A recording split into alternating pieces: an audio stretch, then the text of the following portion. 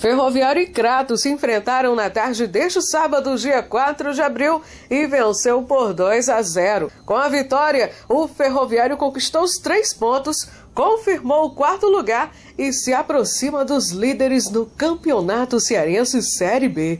Ferroviário 0 para o Crato. Wagner já fez a cobrança, tira de cabeça. Ali o Carlos.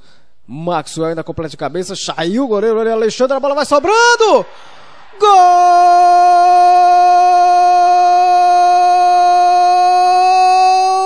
do Ferroviário!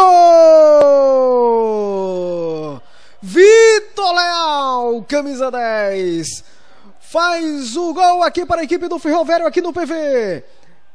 Enquanto isso, reclamação geral ali da equipe do Crato para cima da arbitragem. Olha só, o goleiro Alexandre saiu, saiu a meio complicando ali para cima do Menezes. Sobrou a bola para o Vitor Leal, que completou para o gol, abrindo o placar aqui no PV. Um para o Ferroviário, Vitor Leal.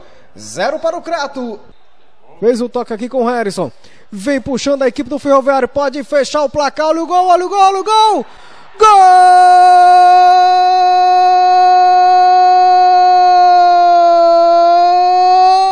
do Ferroviário! Veja só, Harrison, camisa 19. Vindo, que golaço do Harrison por cobertura em cima do goleiro Alexandre.